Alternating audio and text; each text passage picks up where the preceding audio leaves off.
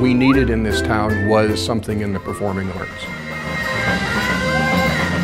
And frankly, it wasn't easy in the first few years because nobody knew ECA. Edmonds Center for the Arts?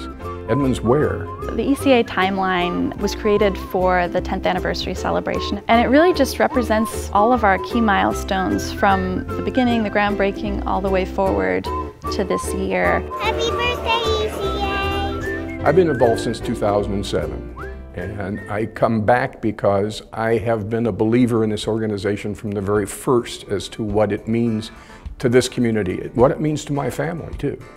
And I like the fact that they listen to people, they have a goal to not just have performances, but to have an opportunity for the community to learn and gain from this.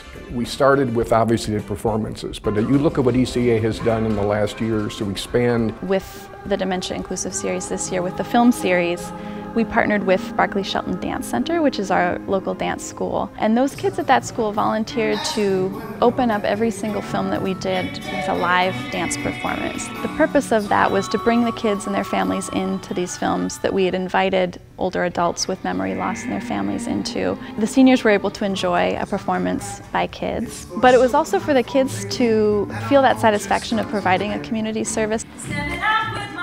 Every time I've listened to an artist talk, they all say the same thing. The crew is A1. They feel like they're getting what they need out of the crew.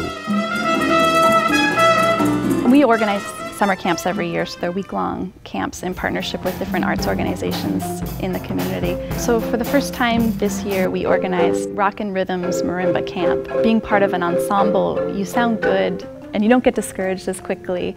And so it was pretty cool to see every day the kids get so excited about picking up their mallets and, and starting to play.